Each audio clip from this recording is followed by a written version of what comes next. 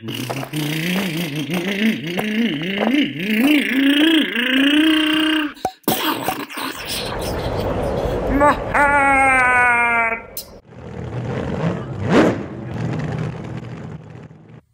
this is a brand new uh, Team Powers Actinium uh, V5. So I actually skipped a generation. I, I didn't get the the V4. I used to have a V3, I believe 21.5, 21.5 or 17.5. I believe it's 21.5. Now, one of the things that caught my attention, the reason why I got this motor is a lot of companies are going to the three-piece design, and then you have the three really long screws. Uh, this looks very similar to the Phantom Helix. That's the reason why I picked up this motor. I was curious. It looks very similar to it, the way the end bell adjusts everything. Uh, so uh, I thought, hey, this must be a pretty cool, cool motor. And the reason why I like it is because it's it's easy to just put everything back together. That's the reason why. And the other thing too is you can remove the end bell and not mess with the timing. Uh, that's that's the other reason why. So once you put this thing back on, timing is set. Uh, well, I mean, I guess that's the case with many other motors. Uh, same same thing. Uh, except for this one, well, with my experience with the Helix is because it screws on here to these ends, you don't have to mess around too much with adjusting just so you get the same even spread and timing uh, that you had before, assuming you went through it, set it up, uh, and everything. Uh, but very nice construction. This is definitely a lot nicer than I recall. It's a large plate. There's another motor that I remember having such a wide plate. There we go.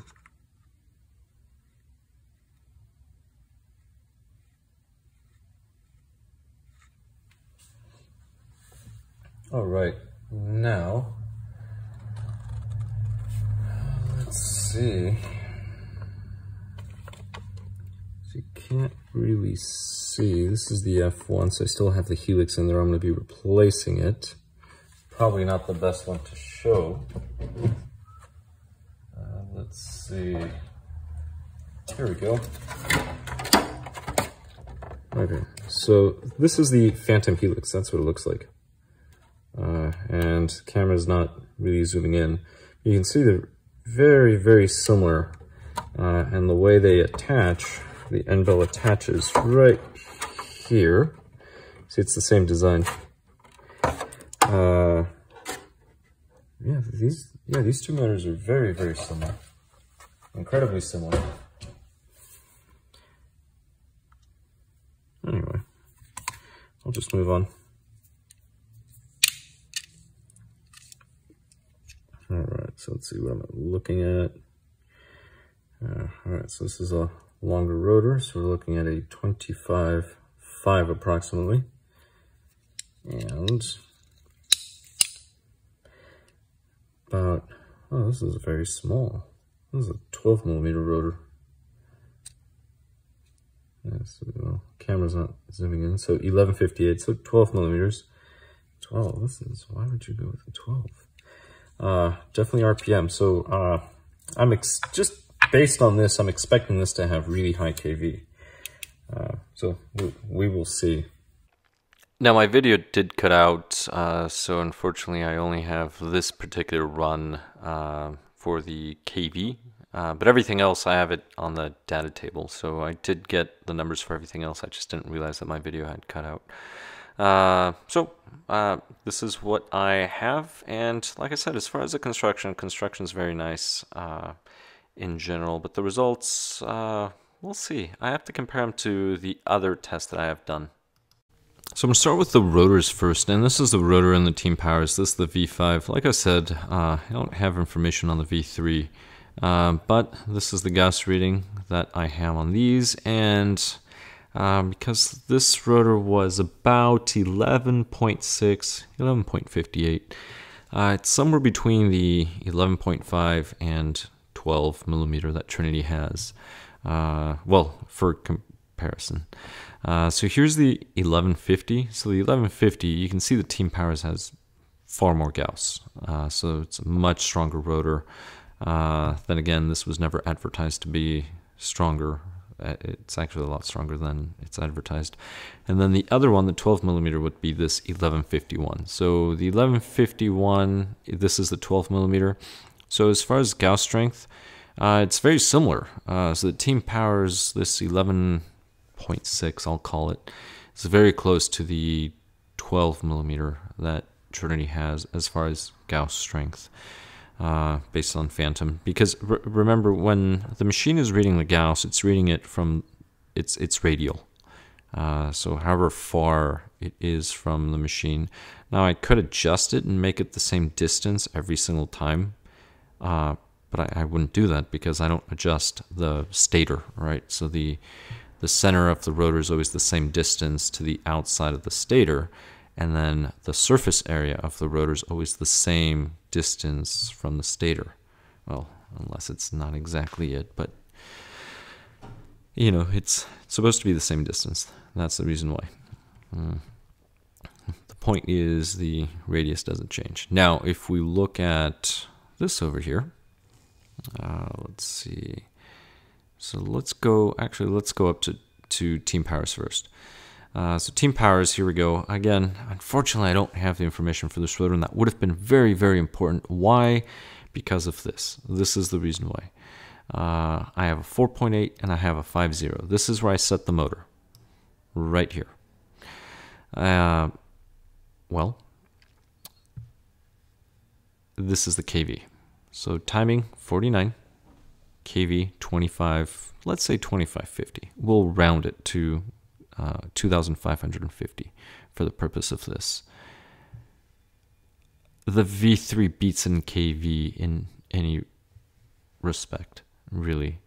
Uh, so, but the, keep in mind that the rotors could be completely different, uh, and that's going to uh, change everything. That's one of the reasons why in past videos I ran tests where I would take a Trinity motor and then swap the rotors and see the effect.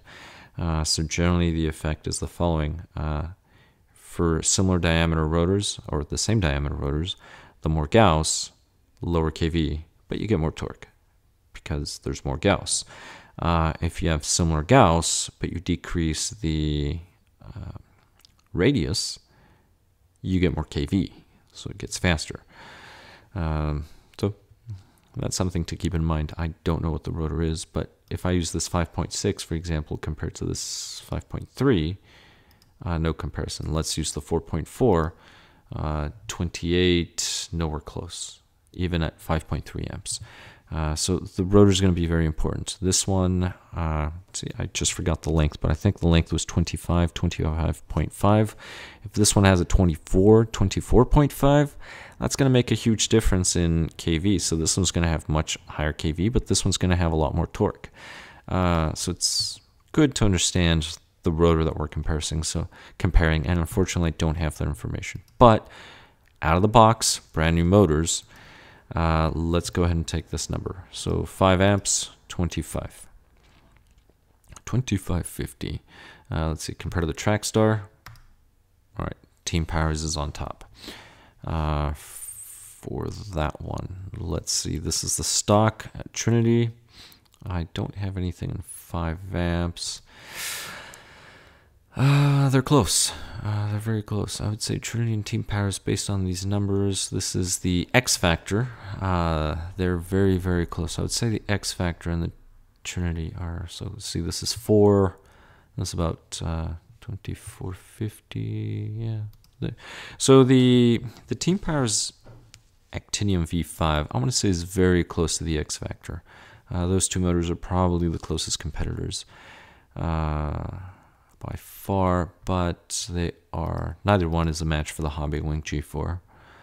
Uh, this this has a larger diameter rotor, uh, 12.5 I believe, which means more torque. That's a whole millimeter, uh, almost a millimeter.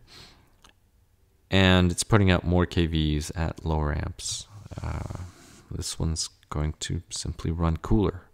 Uh, slot machine, slot machine. I prefer the slot machine over the X factor anytime. Uh, here we have a 5.3, 26. Uh, KVs are very similar, but again, this one has a much larger diameter uh, rotor, uh, which is interesting. I would have to check the length to see what the length is, or I would have to go back into the old videos and see what the length is. I know I measured the length of this, uh, but that's something to keep in mind. Maybe these are shorter rotors, possibly. Uh, we'll see. Let's see. Then Helix. Helix is just fast. This is just a really fast turning motor. Uh, here we go. So 5.1, 28. I mean, the Helix is just far more RPM uh, because of that. And then the the Muchmore, uh, Muchmore. Uh, it's about the same. Very similar to the Phantom Helix.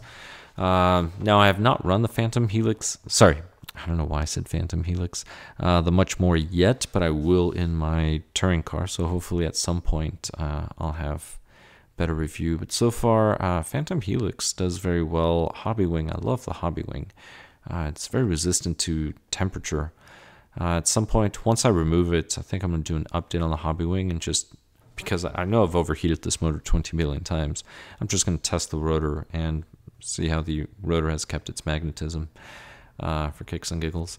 Uh, but this is it for the data. So I, I, I, know unfortunately it's a little incomplete because of the V3. Uh, I have uh, mixed feelings about it, uh, but it's really it's it's up to you. Take the numbers, take the data, uh, interpret it as you will, and if you think it's a great choice for you, go for it. Go ahead and get it. It's it's very well made. the design's pretty nice. The the end part looks very similar to an R1. If you look at the inside, that really thick aluminum piece, uh, and then the end, the the construction, the way the end bell attaches to the rest of the motor looks very very similar to a Phantom.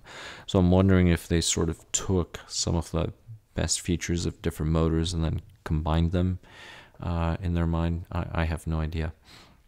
But that being said, I hope this information is useful informative, uh, or at least entertaining. Uh, thank you very much for watching, and I'll catch you in the next one. Oh, oh, oh, oh? Oh, my, my hair!